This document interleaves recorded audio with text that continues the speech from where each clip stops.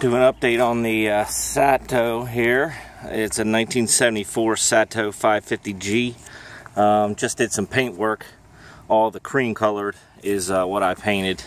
Uh, the red was already painted. I painted the engine black. And uh, everything else was painted silver, which was just awful looking. Uh, so yeah, that's after a good pressure washing. I'm going to have to do something. I don't know what I'm going to do here. If I'm just going to dye this back black after I paint it or what. Um, here's what a wheel looks like painted. That wheel's a little bent.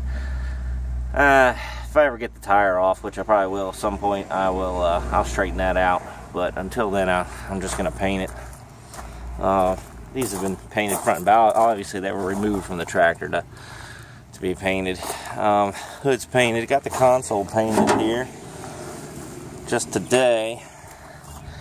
Um, needs a new steering wheel. Seat painted today. These wheels were just painted today. The hood was painted a couple days ago. Um, like I said, the engine's black. Um, this radiator's brass, so uh, I guess I'm going to shine it all up. Um, fan, fan shroud will be black. Uh, radiator fins will be black, and then this is just going to be polished. It should look uh, should look awesome. Uh, so I got a little white overspray on the engine there, but that's not a problem. See, that's what I like about the flat black.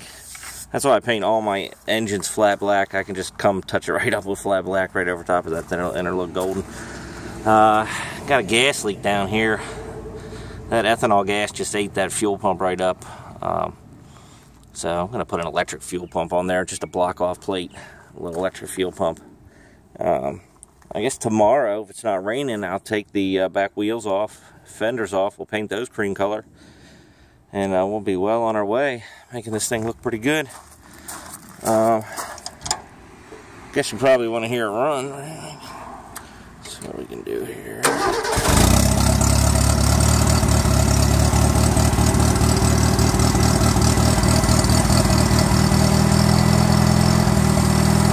There we go. Little four cylinder gas uh, another mod I'm going to do is I'm going to uh, pull this exhaust off, turn it 180, uh, and then I'll put a stack with a nice little flap on it. Uh, that'll look cute uh, with a uh,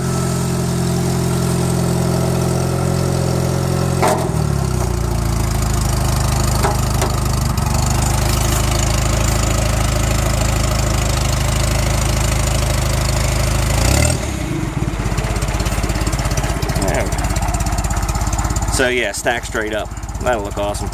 Um, a little bit about this tractor, like I said, it's four cylinder gas.